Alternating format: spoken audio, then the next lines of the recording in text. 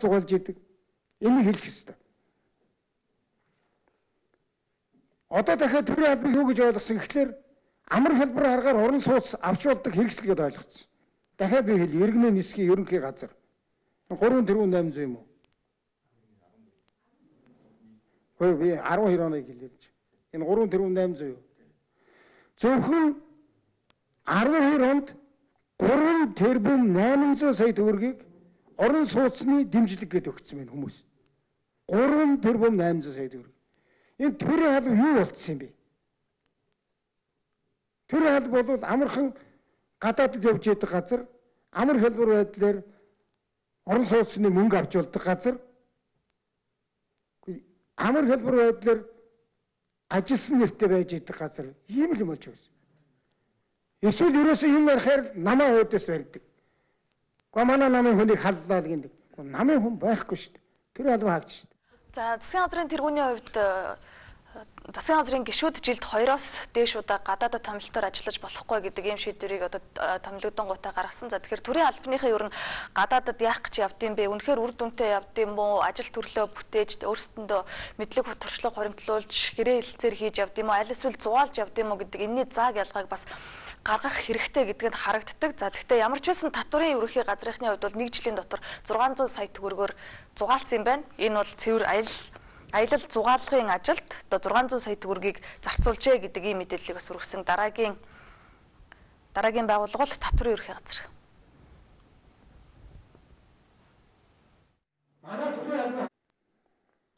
Үндэсний татварын ерөнхий газар гадаад дотоодын аялал жуулчин амар цэвэрлэл 632 сая төгрөг 2 жилийн дотор үрж байна.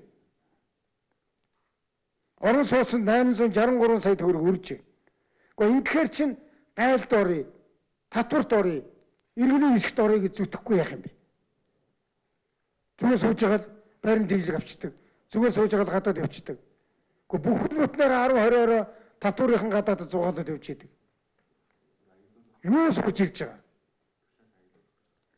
Гадаад улсад аюулуулах тухай гээд татварын ерөнхий газрын даргын тушаал 12 оны 11 сарын 2 нэтер гарч шít. Аюулд зарцуулагдах 5 сая 500 мянган төгрөгийг төгрөгийг сангийн сайттай байгуулсан үрдэнгийн гэрээний биелэлтийг дүгнэж олгосон урамшууллын хөргөнөөс гаргахыг нэгтэн бодгч зөвшөөрсөн. За одоо төрийн халуу юу болсныг одоо бүгдээрээ нэг бүр бүр орон даяараа нэг тойрцоогоо дахиад ярив. Би бол өнөөдөр зөвхөн хэдхэн газар хийж шүү. Иргэний нисэх За их төрийн албанд гарч байсан алдаа дутагдал мөнгө төгрөгийг өрн таран хийсэн байдлын талаар ерөөхдөө өөрийнхөө байр суурийг илэрхийлж за одоо шинээр томилогдсон хүмүүс ийм алдаа гаргахгүй байхыг хатуу сануулсан юм. За албан тушаалд хариуцлагагүй хандвал албан тушаалаасаа та бүхэн ч гэсэн мөн чөлөөлөгднө гэж шинээр томилогдоод байгаа яамдын яамдынхан болоод агентлагийнханд сануулсан. За ямар нэгэн улс төрийн нам гэдэг бол луурчдын хорогддог газар байх ёсгүй юм а гэдгийг ч тэрээр хэлж байсан юм а. Юун төрийн халуу. Энэ ялцралыг зогсоох шаардлага гарсан учраас бид нар өөрчлөлт хийж байгаа. Энэ өөрчлөлт зарим хүмүүст зарим нам намын нэр барьсан лөөсдөд бол таалагдахгүй байгаа. Тийм учраас маш их олон юм ярьж байгаа. Олон юм ярих чинь ирээр юу хийсний чинь бүгдийг хэлхээс өөр аргаалга. Би бол уг нь маргаашийнхаа төлөө нөгөөдрийнхөө төлөө ажиллая гэж маш их хийж байгаа. Өнгөрсөн баларсан яриад яах вэ? За яршиг айчээд байсан. Энэ засгийн газар гарч ирээд юм бүхэнд оролцож байна. Бизнест хутгалдаж байна. Та нарын дураараа бизнес хийж том том ашиг ганцаараа унгаадаг чинь бас байхгүй болж байгаа шүү. Тэгэнгүүт хэдэн том компаниуд янз бүрийн байдлаар бидний нэр хүндийг унгаах гэж өчнөө мөнгө хаяж байгаа юм байл шүү. Бидний эсрэг бити мөнгө хаяад бай. Наад мөнгө ард иргэдэд өг. Ганцаараа идэж гахаа таргалдаг цаг дууссан шүү. Тендер ганцаараа хусдаг чинь дууссан шүү. Энэ бол маш ингээд бас нэг хэсэг хүний эрх ашиг хөндөд байгаа. Хөндсөн учраас бидний эсрэг кампанит ажил зохион байгуулж байгаа юм байлээ. Одоо наа засгийн газрыг чинь ингээд далаад өгнө. Тэгээд далаад өгнө. Тэр сайхан бэлгийн тэгээд бичээд өг. Тэр алтан үеийг ингээд бичээд өг. Тийм юм байхгүй. Бид нар хідэн хийн чадна. Эндээ бол эргэлзэж байгаа байхгүй. Тэгвэл хэн нэгэн хүний эсрэг хийгээгүй шүү. Цөөхөн монголчуудын эрх ашигын тусын тулд хийж байгаа шүү нэг байгууллага нэг дарга нэг тэрбум 200 сая төгрөгээр гадаадд хүмүүс зугаалуулдаг биш. 1 тэрбум 200 сая төгрөгөөр бид нар тэр хямдхан үсийг чинь аваа хэрэгжилчмээр шин. Ингээ юус мөнгөний баримжаа алдагдсан. Би намар нэг юм хилээд чимээг уулсан. Төсөө нөгнөөс ямар их мөнгө гаргаваа. Тэг болсон шаваасан байшин байна уу? Байхгүй шүү дээ. Байхгүй. Ихэнх нь бол жил жил төсвийг нэмээд идэг. 14 төгрөгөөр эхэлсэн байшин 24 төгрөгөөр босдог.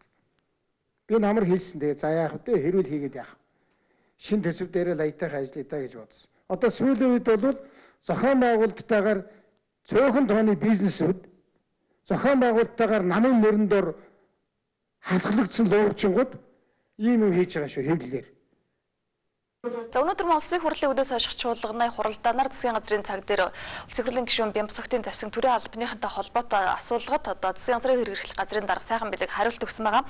За түүний хувьд бол э, өмнөх засгийн газрын үед ажиллаж байсан засгийн газрын харийн агентлаг болоод газрын дарга нарыг ямар шалтгаанаар чөлөөлсөн бэ гэдэг дээр бас тодорхой тайлбарыг өгсөн байна. За жишээлбэл цагдаагийн ерхий газрын дарга сандаг очрын хувьд бол тэтгэврээ тогтоолгох шаардлагатай болсон учраас ажлаас нь чөлөөлсөн. За улсын мэрэгжлийн ялтын газрын дарга содхүүгийн хувьд бол стандарт хэрэгжилтэнд одоо хяналт тавиагүй гэдэг үүднээс ажлаас нь чөлөөлсөн за харин улсын бүртгэлийн ерхий газрын дарга амар санааг иргэний шинжилсэн бүртгэлийн одоо мэдээллийн бүрэн бүтэн байдал алдагдуулсантай холбогдуулан ажлаас нь чөлөөлсөн за шудраг өрсөлдөөн хэрэглэгчийн төлөө газрын дарга лавгаг нефт импортлогчид оруулсан 7 тэрбум төгрөгийн торгуулийг хүчингү болгосон гэх мэтийн ийм үндслүүдээр тодорхой хүмүүсийг ажлаас нь чөлөөлсөн гэдэг ийм тайлбарыг өгсөн байна. Ингээ үзэгч та бүхэнд анхаарлаа хандуулсанд баярлалаа.